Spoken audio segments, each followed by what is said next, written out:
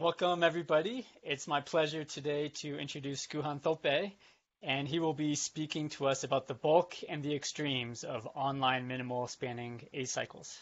Thanks, Gugan. Thank you, Henry. I hope I'm audible to everyone. So first You of are. all, uh, so first of all, thank you, Henry, for giving me this opportunity. It's indeed a novel experience. It's 9 p.m. here in India, so I'm giving a talk like which is almost at night, and I'm about to give a talk to such a high concentration of novel, knowledgeable audience from around the world. So I thank you. It's indeed an honor. All right. So as Henry pointed out, my talk is titled "The Bulk and the Extremes of Online Minimal Spanning Acycles." This is a joint work with a bunch of people, starting with Nicholas Fraiman from the Chapel Hill University, Sayan Mukherjee from Duke University, where I did my postdoc, uh, Primoz Skraba from the Queen Mary College of London, and Yogeshwaran from the Indian Statistical Institute.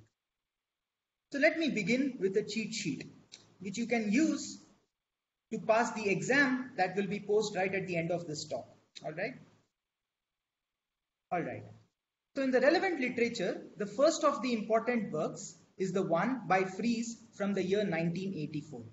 He considered the complete graph on n vertices wherein the e- uh, weight edges are independent and identically distributed uniform 0-1 random variable. We will refer to this graph as the uniformly weighted graph. So please note this in mind because we will be referring to this graph several times in this talk. So Frieze looked at the minimal spanning tree associated with this uniformly weighted graph. In particular, he showed that the sum of weights in this minimal spanning tree converges to the constant zeta of 3. In the year 2019, Hino and Kanazawa extended this result to a weighted simplicial complex model, which can be viewed as a higher dimensional analog of a weighted graph. Gugan, can I ask a question? the quick? minimal spanning tree Can I ask a question already? So, so zeta Sure. three. This this is the zeta function coming from number theory. Yes, that's right. Okay, so And- I'll uh, describe the form in the next slide and I'll tell Okay. you why we get this zeta of 3 as well. Oh, fantastic! Thanks. Sure. Okay, so in the year 2019, Hino and Kanazawa extended this result to a weighted simplicial complex model, which can be viewed as a higher dimensional analog of a weighted graph. The role of the minimal spanning tree is played here by the minimal spanning acycle. Again, they look at the sum of weights in the minimal spanning acycle and they showed that this sum again converges to a constant. Notice that in both these results, the focus is on the sum of weights in the minimal spanning acycle. In contrast, in our result, we look at the distribution or the histogram of weights in the minimal spanning acycle. In particular, we derive two results. In the first result, we show that the empirical distribution of weights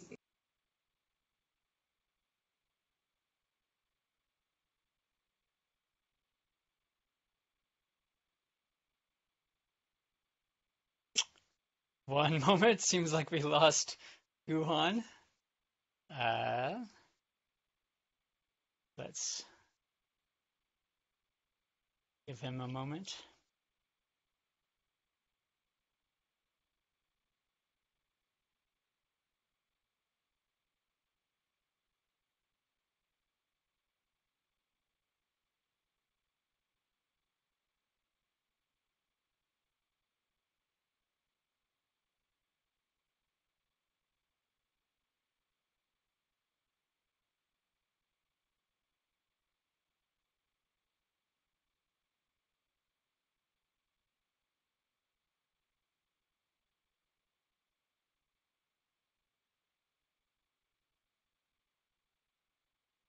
Okay, Gugan has officially been kicked off the call. We'll give him a, a moment to to rejoin.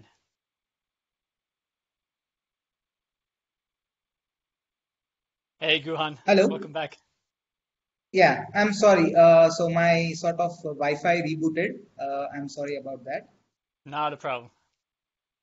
Yeah, so can you see my slides again? They're starting to come through. Yep, there they are.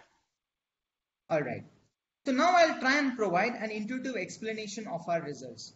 For this, let us look at the output of the following result.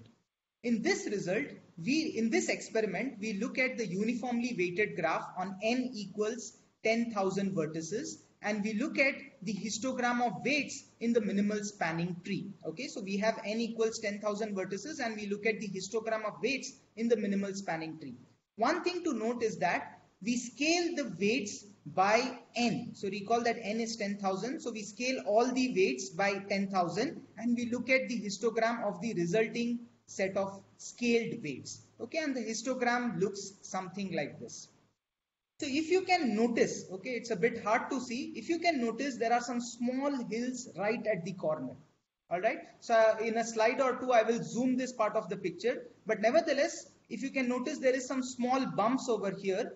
This is what I refer to the extremal weights in the minimal spanning acycle. Okay, and, and everything else is basically the weights in the bulk. All right. And a question yes, here, Gugan. So the, the weights are uniformly at random between zero and 10,000 here. But in the minimal spanning tree, you expect to find small weights. And so that's why all these weights are, you know, less than 10 in the minimal spanning tree. Is that's that right? Yes. Yes, that's correct. All right. So most of the weights are small, but there are some weights which are very large.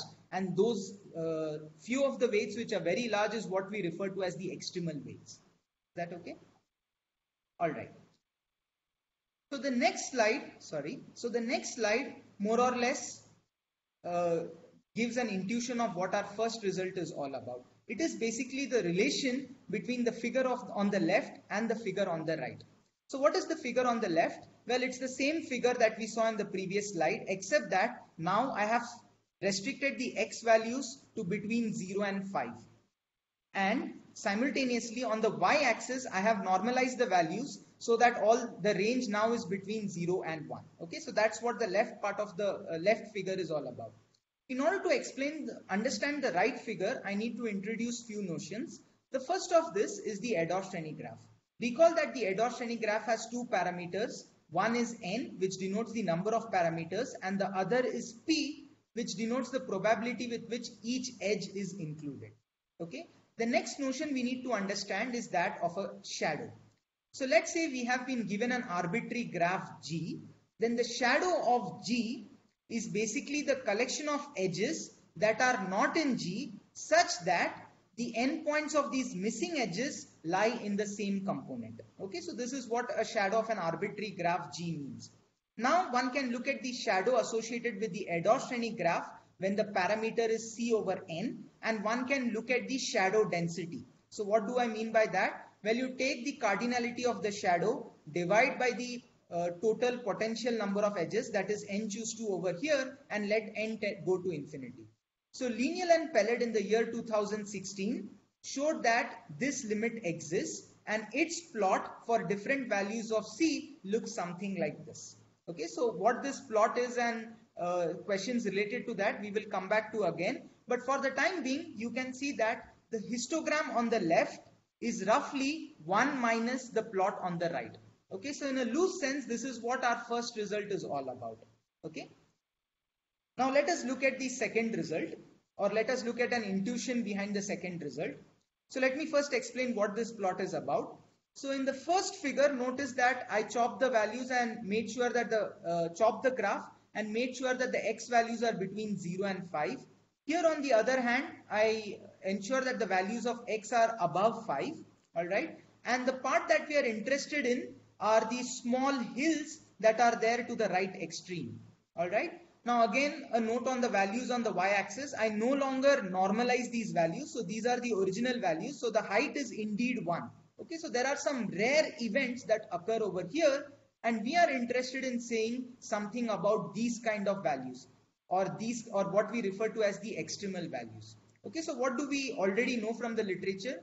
Well, from the existing literature, we can show that this result holds. That is, the cardinality of the set of edges in the minimal spanning tree whose weight exceeds this threshold for some constant c, this cardinality converges to a Poisson point, uh, so Poisson random variable with mean e to the power minus c. So this c is precisely the c that we have over here.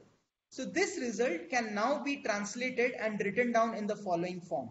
So observe that I multiply W of E with N, take this log N to the left and say that uh, and we now look at the set of edges such that this scaled weight now lies in the interval c to infinity. And this result states that this random variable converges to a Poisson random variable with mean e to the power minus c.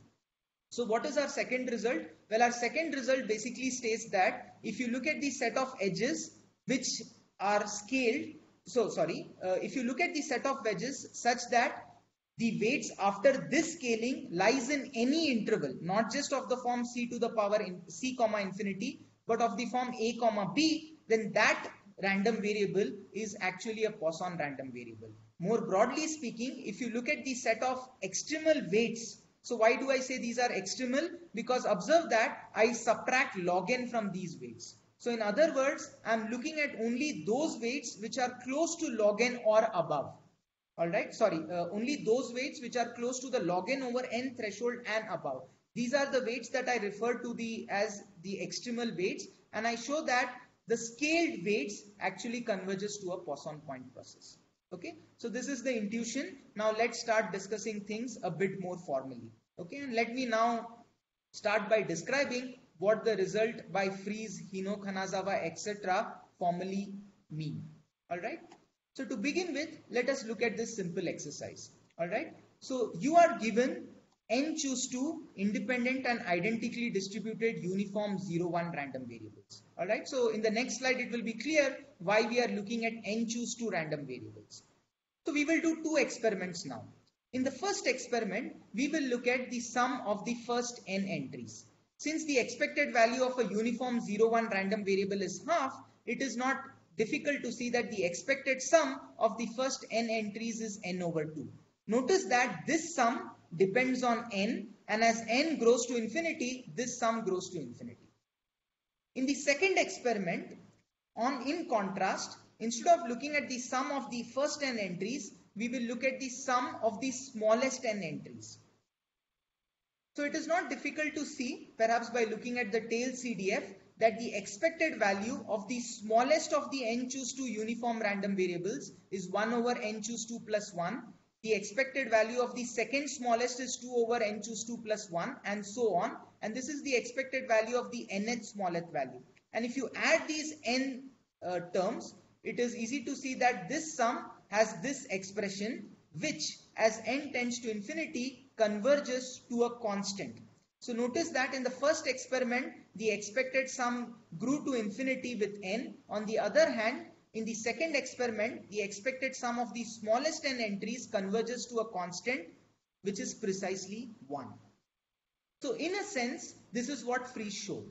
Okay, so what is the setup that Frieze considered? He looked at the complete graph on n vertices where the edge weights are independent and identically distributed uniform 0, 1 random variables. He looked at the minimal spanning tree that is associated with such a graph. The figure on the right gives you an example of a minimal spanning tree on 20 vertices. So he showed that the sum of weights in the minimal spanning tree converges to, the to a constant and that constant is zeta of 3 and he showed that this convergence is in mean and in probability. So what is zeta of 3? So zeta of 3 formally has this definition. It is the sum of 1 over k cube for k bigger than equal to 1 and one can see that this value is approximately 1.2 okay? So how is this related to the previous uh, slide? Well recall that there also we had n choose 2 random variables. Here also we have n choose 2 random variables which are the weights of the different edges. There in the second experiment we looked at the expected sum of the smallest n entries. Here we are looking at the sum of weights in the minimal spanning tree. There we had no restrictions here we have the restrictions that the edges together should form a spanning tree. But again, in a sense, we are looking at the uh, sum of the smallest n entries with this additional restriction. And one can see that this sum again converges to a number which is close to 1 but not 1. Okay, so that's what uh, the result by Frieze is all about. That's As very beautiful. Before, it's like the, the price you pay for being a spanning tree is only 0.2, you know? That's, that's right. It's very nice. That's right. Okay. So as I mentioned before, in the year 2019, this result was extended by Hino and Kanazawa to higher dimensions. But in order to explain that result, I will need to introduce few definitions. And the first of that is a simplicial complex. I'm sure the audience here knows, knows what a simplicial complex is, but nevertheless, let me define it so that we are on the same page. So simplicial complex will be denoted by this notation calligraphy K. It is a generalization of a graph in that in addition to vertices and edges, it also includes triangles, tetrahedrons and other higher dimensional faces. Okay, so one can quickly ask, oh, there is also this notion called as hypergraph, which also has vertices, edges, triangles, and other higher dimensional faces. So what is the difference between a simplicial complex and a hypergraph? Well, the difference is that a simplicial complex has this additional constraint that it should be closed under the subset operation, meaning whenever a triangle belongs to a simplicial complex, we necessarily require that its boundary faces, that is these edges and vertices also belong to a simplicial complex. Okay, so in other words, every simplicial complex is a hypergraph, but not every hypergraph is a simplicial complex. All right. Now there are two notions that we'll be repeatedly using. The first is the dimension of a face.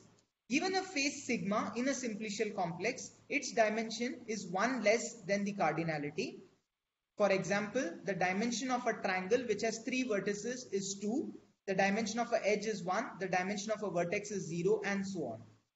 The other notion that we will be requiring time and again is that of the D skeleton. The D skeleton associated with the simplicial complex K is basically the collection of all faces in K whose dimension is less than or equal to D.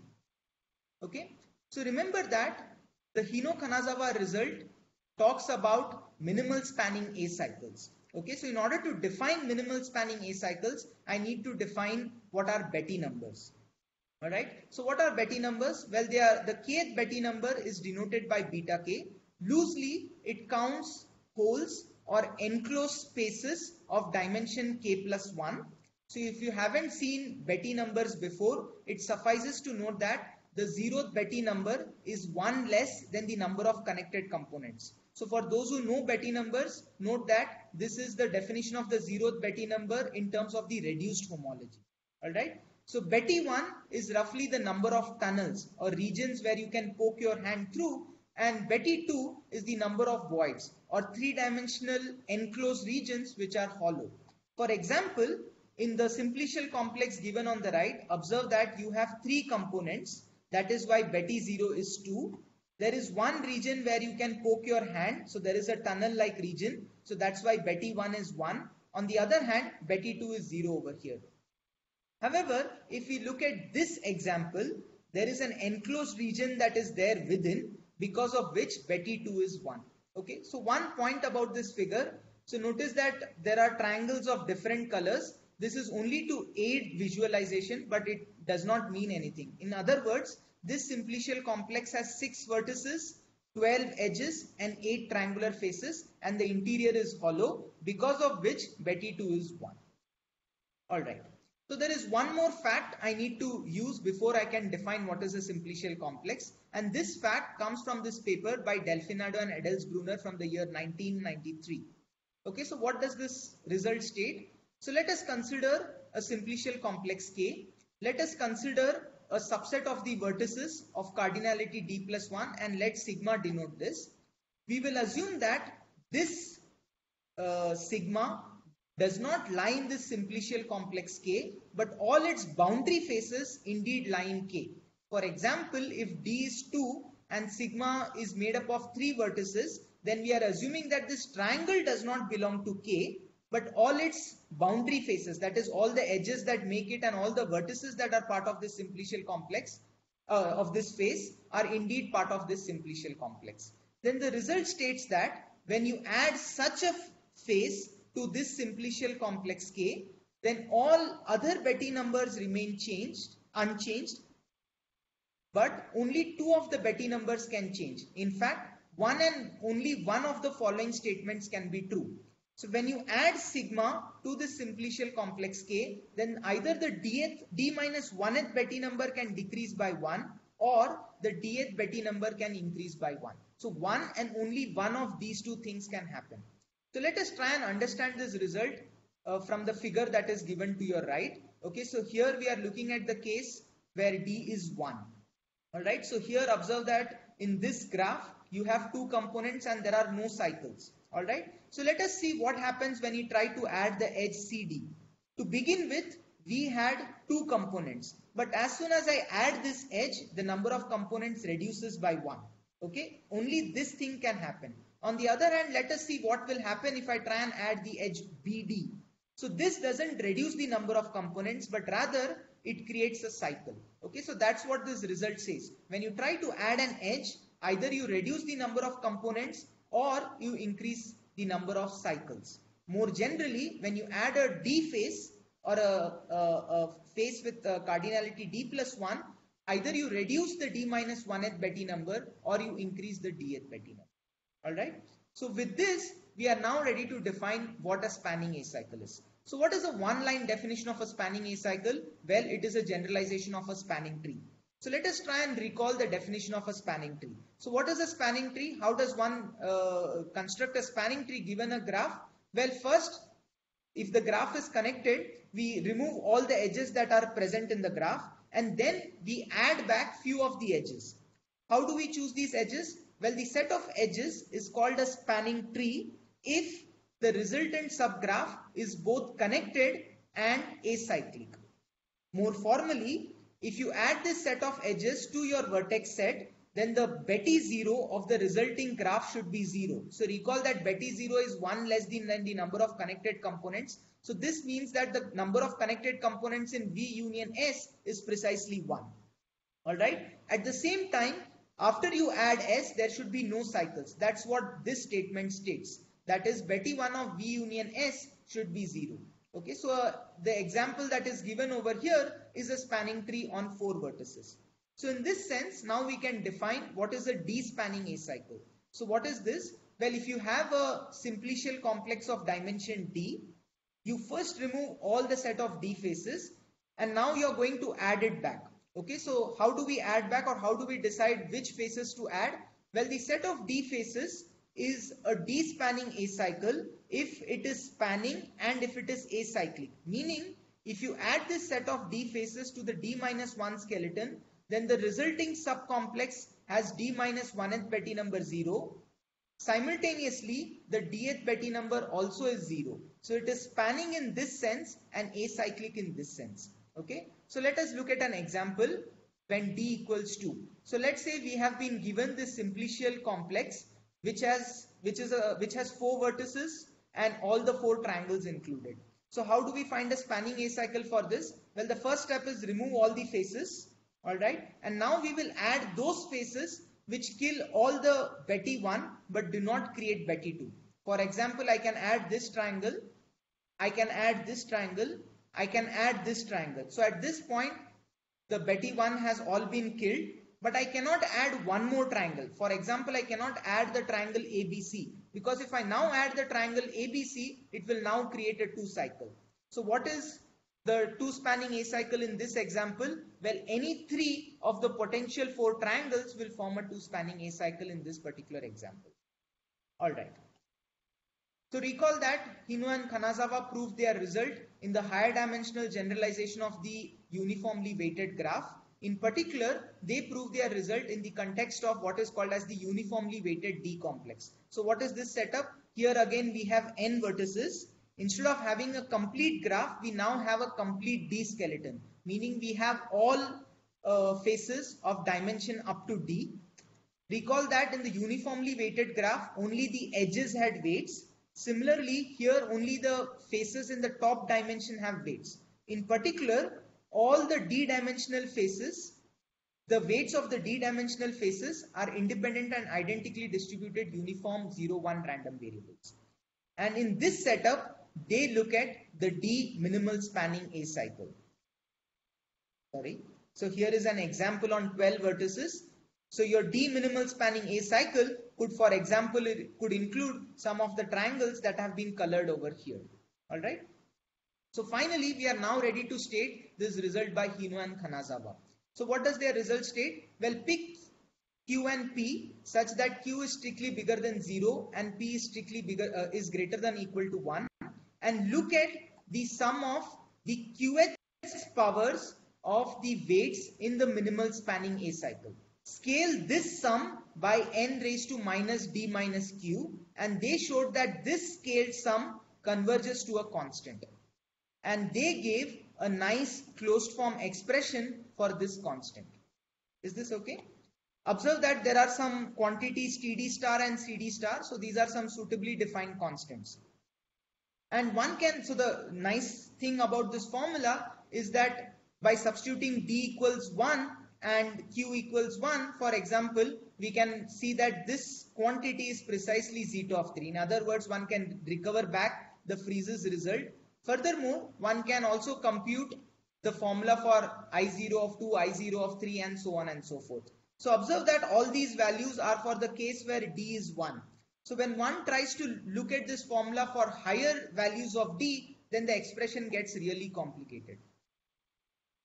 So this then brings us to the questions that motivated our research. So the Can first question, question was, Gugan? Sure. So, so one question for higher D, the formulas get really complicated, but do people think they're still related to the zeta function somehow?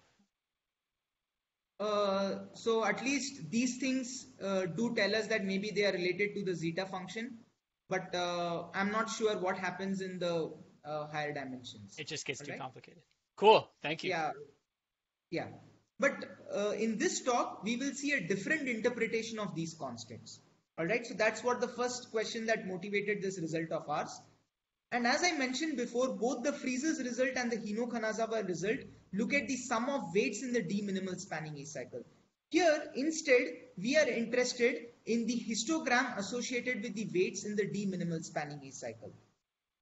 Furthermore, we are interested in what happens in the online setting. So what do I mean by the online setting? Well, this is the case when only a constant fraction of the face weights are known. So then one can ask if we, with only this constant fraction of edge weights or face weights when it is known, if you go ahead and try the try and construct the minimal spanning acycle, how would the weights or how would the histogram of weights in this online setup look like? Okay, so that was the third question that motivated this res uh, research of ours. All right. So we are now ready to discuss our main results. But for that, again, I will need to formally define few of the notions. The first of this is the shadow associated with the simplicial complex. Alright, so earlier I defined a shadow that is associated with a graph. Recall that given a graph G, the shadow associated with it is the collection of edges which are not in G but are such that their endpoints lie in the same component. Okay, so for example, let's look at the figure that is given above. Here we have four vertices and uh, two of the uh, six potential edges, right? So let's try and ask from the four edges that are missing, which of the edges lie in the shadow of this graph, right? So first of all, the edge should be missing. So there are four edges that are missing and both the endpoints of the edge should lie in the same component. So let's look at first the example of the edge CD. So does this lie in the shadow of this graph? No, because the endpoint D lies in one component and the other endpoint lies in another component. So the edge CD does not lie in the shadow of this graph. How about the edge BD? Yes, indeed, B, the edge BD lies in the shadow of this graph because this edge is missing, but both its endpoints lie in the same component. Okay, so now recall the result by Delfinado and Edelsbrunner, which said that when I add an edge, either I kill the number of components or I increase the number of cycles. So from that perspective, one can redefine the shadow associated with the graph in the following way. It is the collection of edges which do not belong to the graph, but when added to this graph, they increase the Betti one by precisely one. So with this definition, one can now generalize the notion of shadow to higher dimensions. In particular, let's say K is a simplicial complex which has the complete D minus 1 skeleton. Alright, then the D shadow that is associated with this simplicial complex is the collection of all those D faces which do not belong to K. However, when they are added to this simplicial complex K, they increase the Dth Betti number. Is this okay? So this is how one defines the shadow associated with the simplicial complex K. So one more notion that is uh, that I require before I can present my uh, main result is that of the Linial-Meshulam complex. So if you recall this plot that I showed right at the beginning, observe that we talked about the density of the shadow associated with the Erdős-Rényi graph with a suitable parameter. The higher dimensional generalization of the Erdős-Rényi graph is called as the Linial-Meshulam complex. So what is the setup here? Here again we have n vertices and we have the complete d minus 1 skeleton. So for example if d is 2 we have n vertices and we have all the n choose 2 edges. Then we add each d face with probability p independently. For example, the simplicial complex given on the right can be viewed as an instance of y2np. It is not difficult to see that y1np is exactly the Erdős-Rényi graph. So in this sense, the Linial-Meshulam complex generalizes the notion of the Erdős-Rényi graph. So this is a slide, uh, sorry, this plot uh, given in the slide is from the Linial Peled paper from 2016. So let us see what we have over here. The left plot shows the density of the shadow in the Erdős-Rényi graph when the parameter value is C over N and this plot is for different values of C. Whereas the plot on the right shows the density of the shadow in the two Linial, two Linial-Meshulam complex again for the parameter value C over N and this plot again is for different values of C. Okay, so again what is the shadow density? Well, for a given C greater than 0, the shadow density is the limit as n tends to infinity, the cardinality of the shadow divided by the total potential d faces. Alright, so in the Linial and Peled paper, it was shown that this quantity has a limit and its plot exactly looks as what is shown over here. So we are now ready to present our main result. So what is uh, the setup over here? We look at the uniformly weighted D complex and we look at the D minimal spanning acycle associated with this uniformly weighted D complex and we look at the empirical distribution of weights in the D minimal spanning acycle. Note that the delta over here is the Dirac delta measure. Okay. Let mu be a measure with intensity 1 minus Sx over D plus 1. So this Sx is the shadow density that I defined in the previous slide and this measure is defined for all x, uh, the intensity is defined for all x bigger than 0. Now let f be any continuous function that is uniformly integrable with this uh, sequence of measures. In particular, suppose that f satisfies this uniform integrability condition that is limit b tends to infinity the supremum over n bigger than equal to 0, the expected value of mu n f, which is basically the, uh, the integration of f with respect to the measure mu n minus mu n of f uh, minima b. So this notation over here is the minima between the value of f of x and a constant b. So you look at this restricted function, look at the expectation of this with respect to this measure mu n take the difference, take the expectation, take the supremum of this and let b tend to infinity. So if this quantity goes to 0, then we will say that f is uniformly integrable. So we show that for any f which is continuous and uniform integrable in this sense, this convergence holds in L1. So what is the quantity on the left? It is the integral of f with respect to the empirical measure mu n. So note that mu n is a random measure. So this is a random variable, right? For every given f, this is a random variable. We show that this random variable converges to the expectation of f with respect to this deterministic measure mu in L1. Okay, and it is not difficult to see that this integral is basically the sum of n evaluated at n times w of sigma for sigma in Mn divided by the cardinality of the D minimal spanning acycle. Alright. So now let us try and interpret what this result means. In, in the question, so um, sure. since since this convergence is for every f, you're sort of saying that in some sense mu n is converging to mu. Is that right? Uh, yes, but we say more than that. Mu n ah, converges okay. to mu, but we are saying much more than that. Okay, and I let see. me try, now try and explain what do I mean yeah. by that. So uh, by, by using by making use of these remarks. So the first item over here is precisely the result from the previous slide. So this is nothing new. It's just the result from our previous slide. Okay. So this convergence implies in particular these three different notions of convergence. So let me go over them one by one. The first is what is called as the vague convergence, which means this convergence holds for every f which is continuous and bounded with compact support.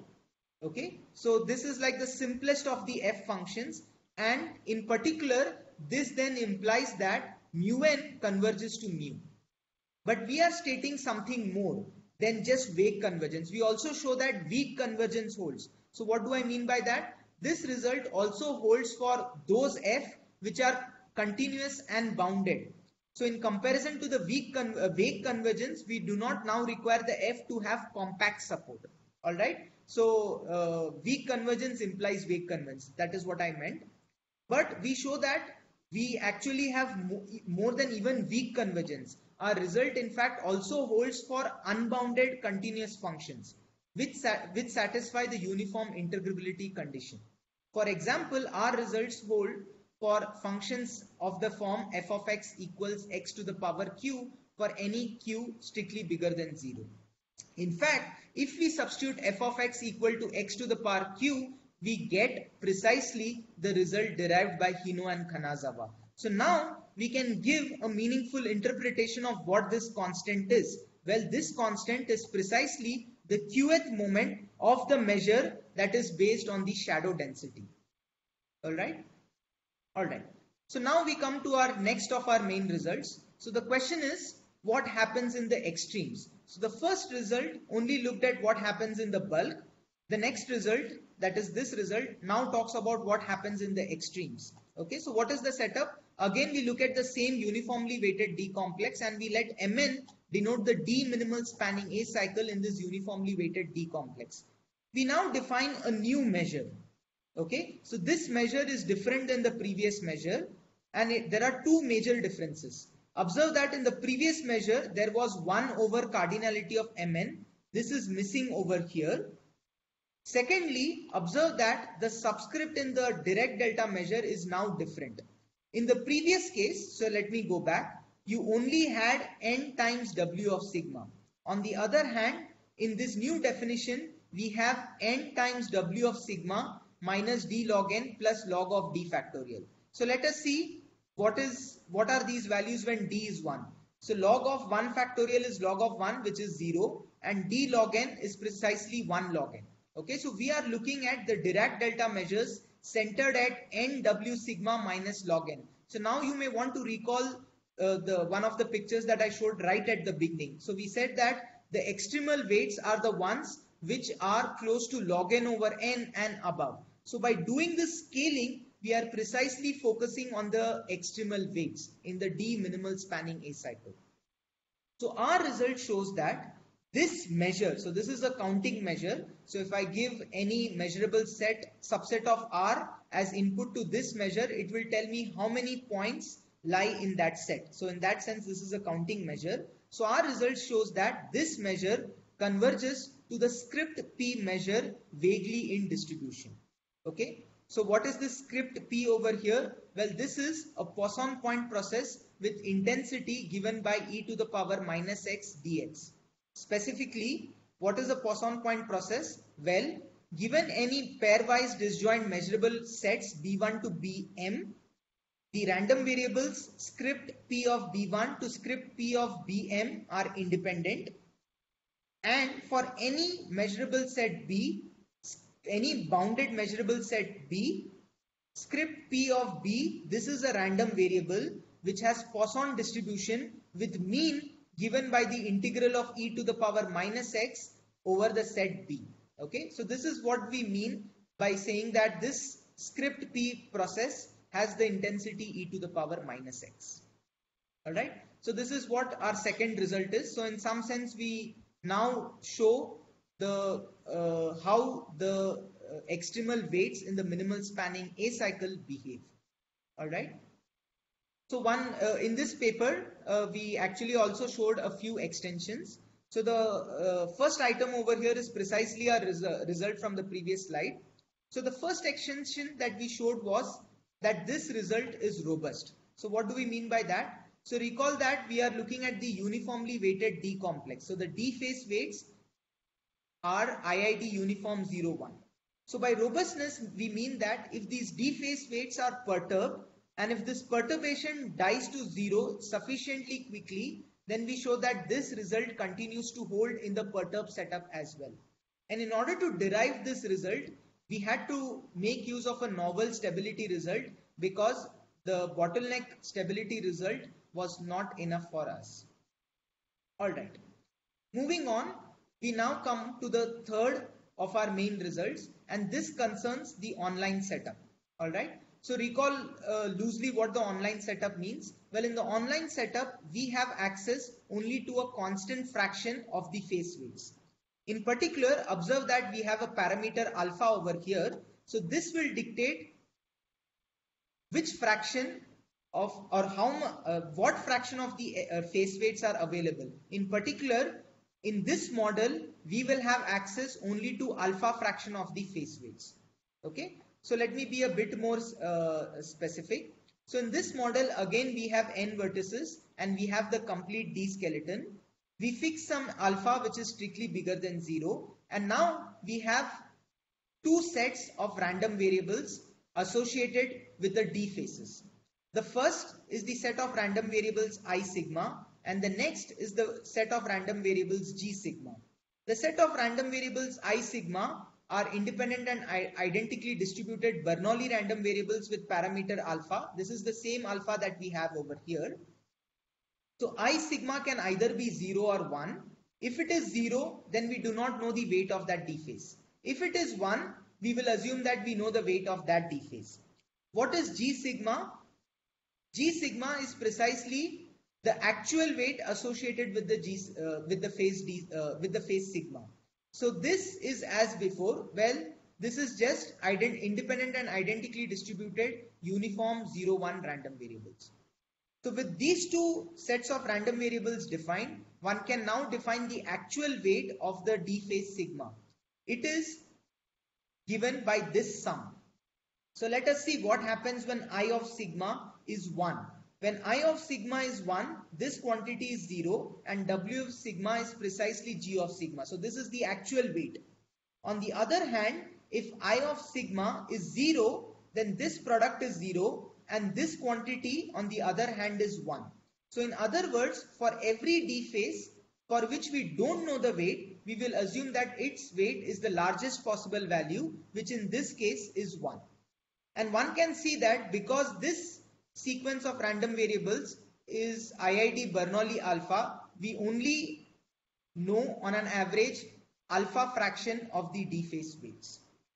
So, so uh, but however note that we have knowledge of weights of all the D in that either we know its actual weight or we assign the value 1 to all those faces whose weights are unknown. So in this sense we know all the, I mean we have values for all the D weights. Alright, so one can now indeed construct the D minimal spanning acycle and again one can ask what is the histogram of weights in the D minimal spanning acycle. Our next result basically tells us how will the histogram in this online setup look like. So what do we do? we denote Mn uh, superscripted by alpha to denote the D minimal spanning acycle in the online setup and we now look at this measure so the difference between this measure and the measure that we had in the offline setup is the following. So this is precisely the same. In this, the sum is precisely the same, but the difference is in the fact that here we have an additional alpha that is present over here. So in other words, instead of only looking at the Dirac delta measures centered at n w sigma, we multiply each of these weights by alpha. So recall that alpha is a number between 0 and 1 so we are rescaling each weight by alpha. So for example, if alpha is half, then we are multiplying each weight by alpha and then we are looking at the weights in the, then we are looking at the histogram associated with this measure. Okay. so what is this F? Well, this F is again uniformly integrable, but notice that we again want this to be uniformly integrable only with the sequence of the original measures. Alright, so we don't want to look at the uniform integrability condition in terms of these new measures. Instead, we will continue to look at the uniform integrability condition in terms of the previous measures, but we require an additional growth condition, which is stated over here. For the alpha that we have over here, we require that the function f satisfy this growth condition. So one can observe that for f of x, which is polynomial in nature. For example, if f of x is x to the power q, then one can observe that this growth condition is indeed satisfied. And one can show that the integral of such a f with respect to this measure again converges to the integral of this f with respect to the original measure mu that was defined in the previous uh, uh, theorem. Alright. So what does this result state? This result states that if you multiply or if you scale every weight by alpha, then we recover back the result. So let's try and understand this result again. When we only know alpha fraction of the edge weights, alright. So of course we are not looking at the minimal spanning acycle in the original case, but rather some of the faces will have higher weights. What this result says is that you take these higher weights, multiply by alpha. So note that alpha is a number which is less than 1. So these weights will now become smaller than what we have. And then what we are saying is that if you look at the integral of f with respect to this new measure, then it once again converges to the integral of f uh, in term uh, with respect to the previous limit mu. All right. So what happens in the extremal case? Well, in the extremal case, the same story repeats. We again look at this d minimal spanning acycle in the online setup and we look at this measure phi n and the only difference here is that Instead of just looking at the Dirac delta measure centered at this quantity, observe that every weight has been multiplied by alpha. And we showed that this new measure again converges to the same Poisson point process with intensity e to the power minus x. So now let me use this one slide to give a brief overview of the different uh, uh, uh, to different ideas that we use in our proof. So the key idea that we repeatedly use in the proof of our result is the relationship between the weights in the D minimal spanning acycle and the Betti numbers. For example, one of the relations that we repeatedly use is the one that is given in the second item. So let us look at this a bit more carefully. The quantity on the left is the cardinality of faces in the D minimal spanning acycle such that its weight is larger than the threshold C over N.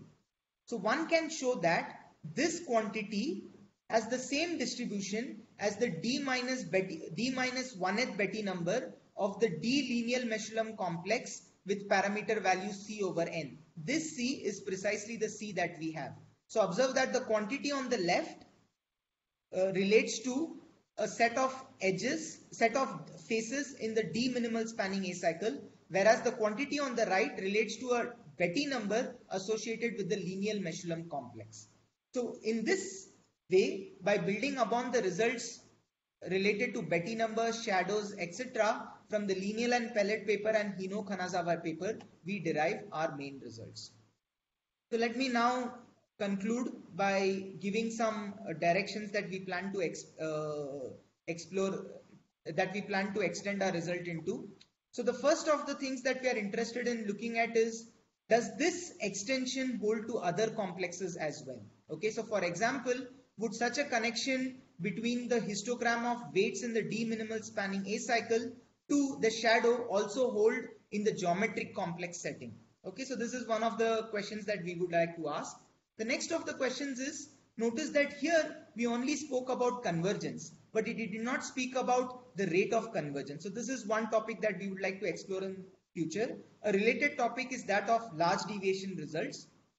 And finally, given this knowledge, we would like to ask, can we now build online algorithms, can we now build algorithms for finding this minimal spanning acycle in the online setup? When we only have a fraction of weights, how can we look at or how can we quickly construct the D minimal spanning acycle. Let's say we uh, now are given additional face weights. How do we modify this D minimal spanning acycle and so on and so forth. So given this relationship to the shadow, what we are asking is can we now construct some fast efficient algorithms to quickly compute minimal spanning acycles in an online fashion. So let me now say thank you. Wonderful. So before we get to questions, why doesn't everybody in the audience try to unmute yourself and then let's clap and then we'll uh, mute ourselves again. So thank you for the fantastic talk.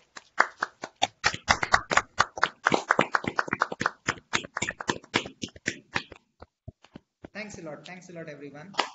Questions for Gugan?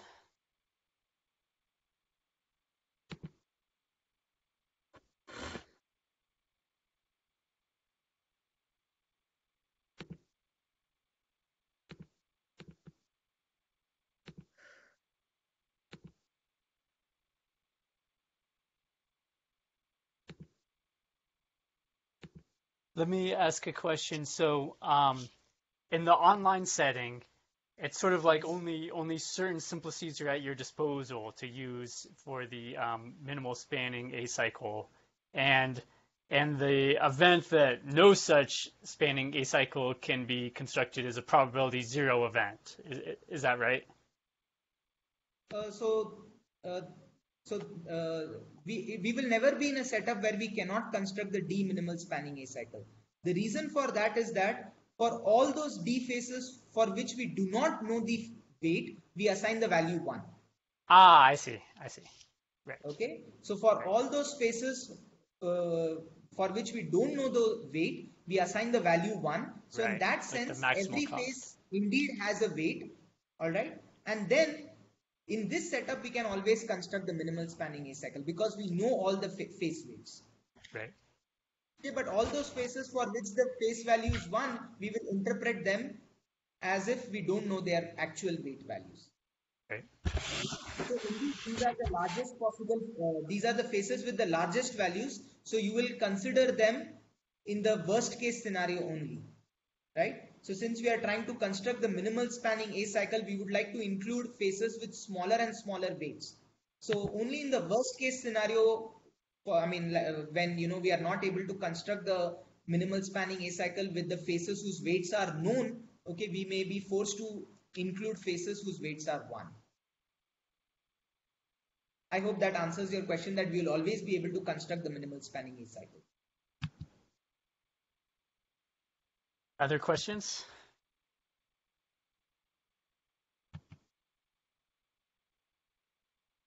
You you mentioned that at one point you had to uh, like do a novel proof of a stronger type of stability. Could you just say a few more words about that? What was the uh, stronger type of stability you needed than bottleneck? Sure. All right.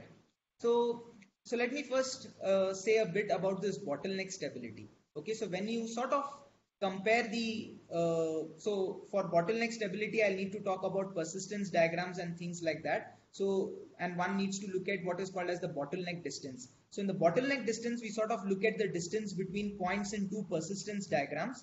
But the catch is that you can also map a point to a diagonal. All right.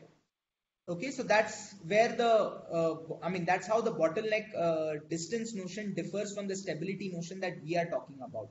Here, we don't look at things on the diagonal. There is no notion of diagonal in our setup all right so what we instead do is we look at uh, so let me see if I can uh, show you our result. Or let me see if I can uh, use annotation. All right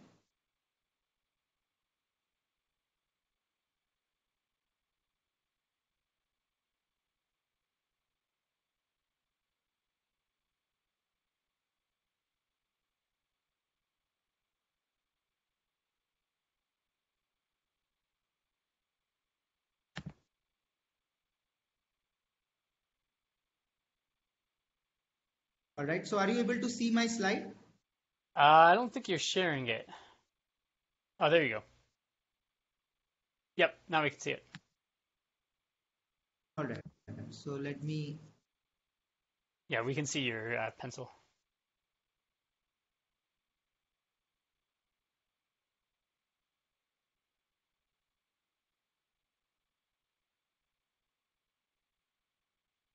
I'm not sure if I can erase this. All right, so let me first